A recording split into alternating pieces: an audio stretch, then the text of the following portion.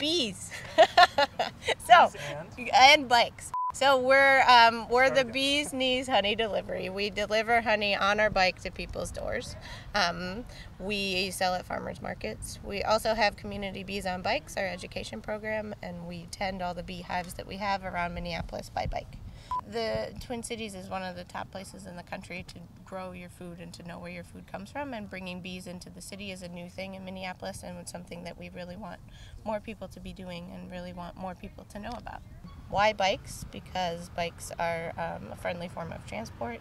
It's really fun. It's a really visible way for us to be out in the community and engaging with people on the street in a, in a way that's a lot easier than, than cars are.